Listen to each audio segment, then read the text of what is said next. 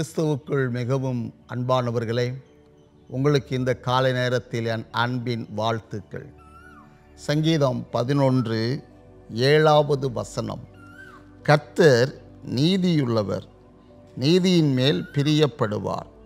அவருடைய முகம் செம்மையானவனை நோக்கி இருக்கிறது.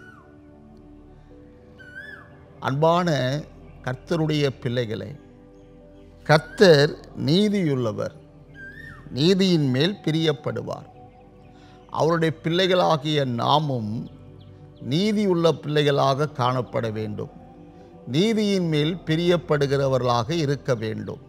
ஏனென்றால் அப்பொழுதுதான் அவருடைய முகம் செம்மையானவனை நோக்கி பார்க்கிறது. கத்தர் உத்தமனும் சன்மார்க்கனும் பொல்லாப்பை விட்டு விலகுகிறவனுமாயிருந்த யோபுவின் முகத்தை கர்த்தர் நோக்கி பார்த்தார். யோபுவின் முகத்தை நோக்கி பார்த்து யோபுவை கர்த்தர் ரெட்டிப்பாய் ஆசிர்வதித்தார். காரணம் யோபுவின் வாழ்க்கையிலே நீதி காணப்பட்டது நியாயம் காணப்பட்டது உண்மை காணப்பட்டது உத்தமம் விளங்கினது. ஆகவே கர்த்தர் யோபுவின் முகத்தை நோக்கி பார்த்து யோபுவை உயர்த்தினார். அதே போல் இந்த வார்த்தையை கேட்டுக்கொண்டிருக்கிற பிள்ளைகளே கர்த்தர் உங்கள் முகத்தை நோக்கி பார்க்க வேண்டுமா? செம்மையான அந்த ஆசீர்வாதம் செம்மையான ஒரு நல்ல ஒரு அனுபவம் உண்மையான ஒரு வாழ்க்கை அதை வாழும் பொழுது நிச்சயமாகவே கர்த்தர் உங்கள் முகத்தை பார்ப்பார்.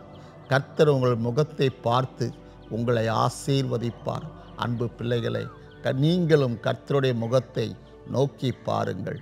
கத்தர் நிச்சயமாகவே உங்களை ஆசீர்வதிப்பார். நாம் ஜெபிப்போம்.